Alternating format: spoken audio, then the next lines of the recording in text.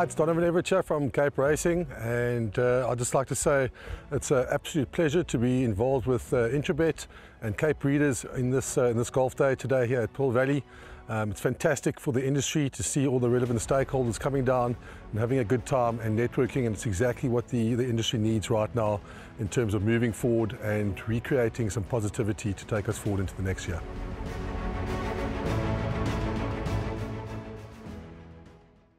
Well, it's a Monday meeting and it's on to race number six. Uh, I say it's a Monday meeting because I've been actually surprised that on Mondays, uh, the poly track, you get fair pools. They're not out at the weekend, we know that, but you get fair pools and uh, it's all about trying to get uh, the exotics with the minimum spend. We're trying our best today because Ryle's jotting down the pick six numbers and he tells me off air that after races three, four, and five, we're sitting on 90 rand. So it's it's fair. The cost is fair thus far. Race number six over 1400 meters, merit rated 70 handicap. The first thing. Uh, we have to go short now, Ryle. We've got three races to go. The permit scoring is 90 rand. It can get very costly if you start multiplying itself out, and it doesn't get easier. Now, this race is a D division class. I'm just going to say that I like a horse as a roving banker here in Stanley, so that's going to be my choice in the pick six. The balance I'm going to leave to you, young man, because uh, it's eight runners that go to post, and it looks like a difficult race, but you think the winner could come from Lorenzo Karim?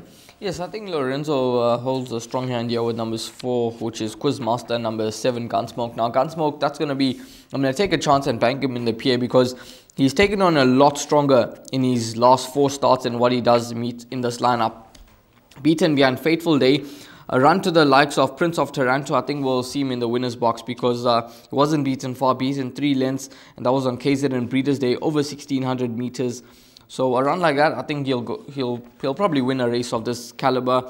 One and a half kgs off the back. He's on a mark of 72. Beaten last time out behind uh, Don Carrari. Fast Love was in that race as well along with the Justin Snaith runner who ran third. And uh, Gunsmoke, he wasn't beaten far, beaten 3.3 lengths. So he's a horse that I think could certainly run a really good race in this lineup and he's going to be a pair banker for me. 1400 meters no issue at all. He has placed over the distance. And i think if gabriel peterson just gives him a confident ride i think gunsmoke will go extremely close. And then number four quizmaster. He's a horse that was beaten behind the bayou last time out not beaten far. And uh, i'm sure gabriel peterson would have been given the choice between numbers four quizmaster and number seven gunsmoke. Quizmaster, but uh, he's a horse that has to be respected. He won that maiden beating, beating Captain Catman, and he hasn't been beaten fast since behind Q Wing. He took on stronger, and then uh, Putin's Promise over 1200, not beaten far there as well. So, one to include. So, um, 4 7 for me, those are going to be the two horses that I include. And then these you mentioned number one, Stanley. Which other runner would you include? No, that's it. I, am going to leave it to you because um, I had a similar thought process the horse that will always keep you interested is, is Leslie's Path of Fame. I mean, he's going to win again. Um, a horse that's had hard luck stories. He's threatening. His last start for me just puts me off. But uh, yeah, he's a horse that you know would move with Sean Veale up on him. Sean has won twice on him before hasn't ridden him of late. So maybe Frank made the call. Sometimes, you know, you find these jockeys are riding the horses. They're riding them well, but they just can't put their head in front. And then you look at a, a jockey and say, which horse, which, which was the jockey that last won on him, who has some success on him. So I think that appointment of Sean Veale could be the key. So let's go for horses then.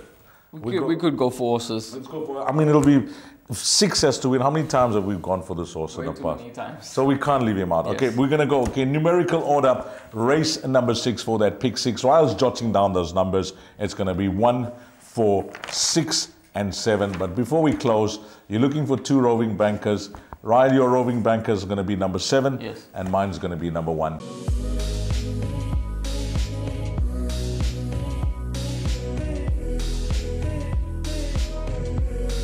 I bet with Interbet only. They're a fantastic site. I've never had any issues with them. They are very professional.